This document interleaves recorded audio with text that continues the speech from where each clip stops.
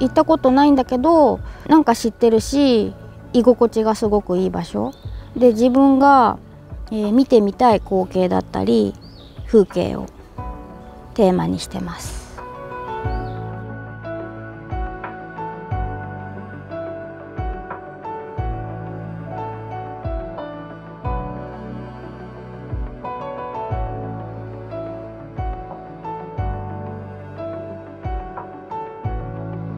ちっちゃい時からムツゴロウ王国に 就職するか絵描きになるか結構二択であの絵描きになろうって多分決めたんでしょうね。それで大学もそのままあのアートの大学に行きました。幼い頃はとってもお家があのあまり豊かではなかったのでトウモロコシのひげを人形の髪の毛に見立てて人形を作ってみたりだとかなんか拾ってきたあのどんぐりだとか落ち葉とかで使ってあの工作をしてみたりだとかなんかそういう割と身近でなんか何気ないところからアイデアをいつも拾っていたような気がします。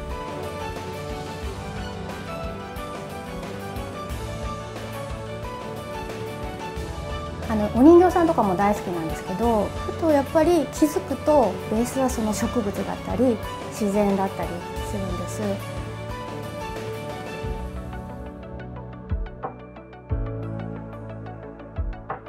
庭いじりをしてる時とかに割と絵の構想とか浮かんできたりだとかなんかその絵の構図っていうのがあるんですけどそれも割とその庭を作ってるイメージと似ているなっていうものがあって緑を描く時もすごくこだわってて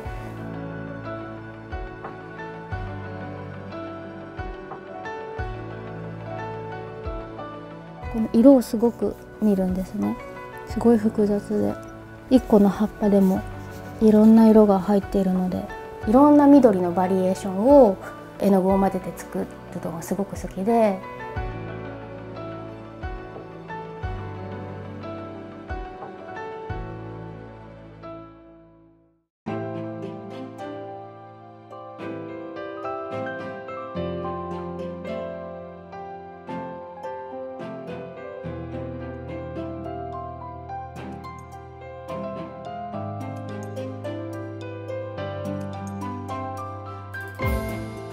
パズルやってる感じ。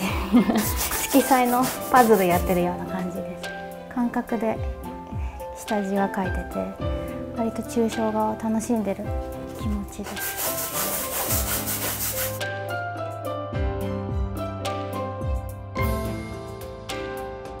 この土台にそのまま塗った色が一番発色がいいというか一番鮮やかなのでそのままもう何も色を重ねずに残す部分とかもすごい大事にしてて。絵の、あのテーマになってるのが行ったことはないんだけどでもよく知ってる場所をあの風景を切り取ってあと夢をよく見るんですけど夢の中で行って見てきた風景とか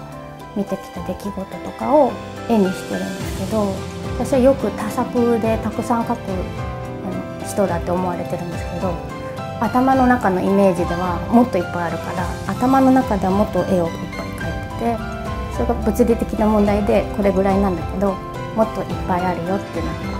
あのみんなに伝えたいです。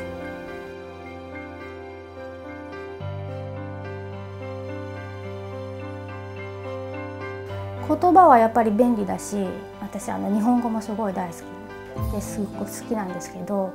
そうじゃない言葉で表しきれない何かっていうものもたくさん存在してると思っててそういう言葉ではあの表せないものを絵にしてるっていうところもあります。それはやっぱ言葉では変換できないので何って聞かれてもあまりうまく言えないんですけどそのやっぱ絵っていうのは言葉とかその見た通りではないまた別のものの力があるんじゃないかなって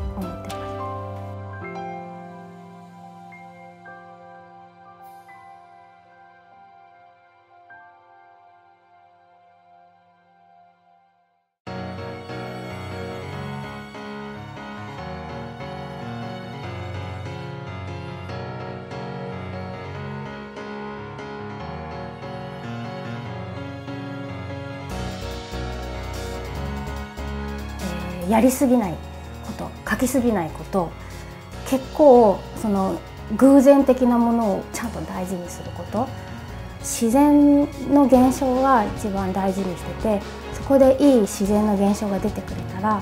そこはもう必ず残すように心がけてます。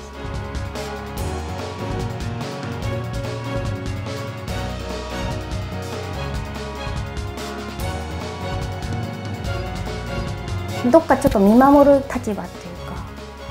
なんか書いてるのは自分なんですけどでもやっぱ自然のもあの集まりでもあったりするのであんまり出しゃばらずにっていうこととかも考えてます。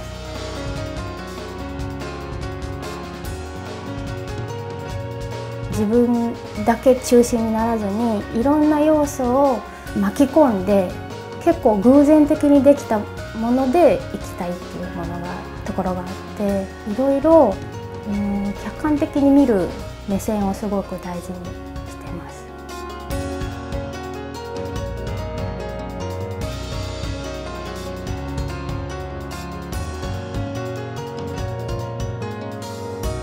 もっとそのアートは身近に感じてもらって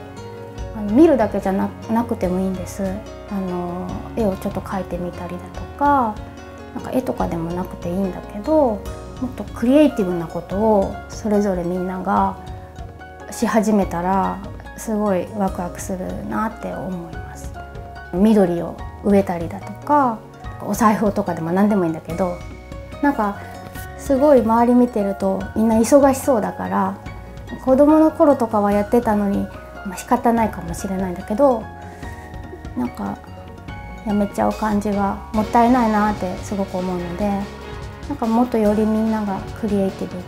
アートをねもっと身近に感じてくれると嬉しいなってそれがずっと思い続けてます。